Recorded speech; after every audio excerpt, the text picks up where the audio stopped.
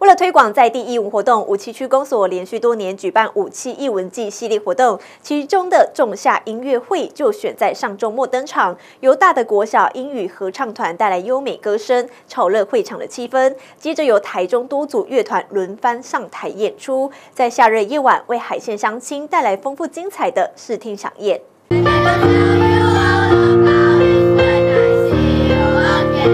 他的国校英语合唱团带来多首的英文歌曲，炒热会场的气氛。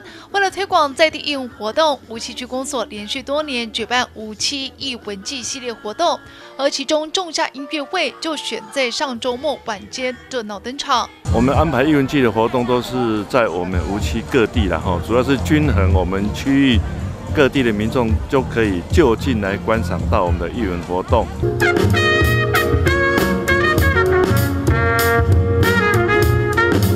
接着由台中中西爵士大乐团演奏悠扬的爵士乐曲，让人听得相当著名。而除此之外，无极区公所更邀请到安第斯乐团，带来了一系列充满印第安民族特色的音乐演出，也让现场充满着浓浓的异国风情。而舞者热情演出，更是嗨翻全场。双手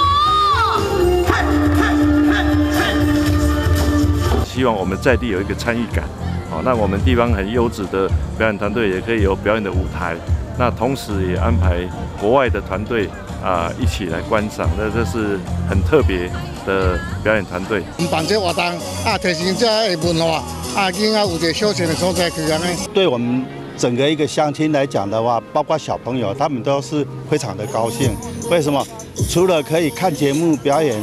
还有小朋友也也可以参与这个活动，然后还有摸大奖，小朋友最高兴的就是摸到脚踏车。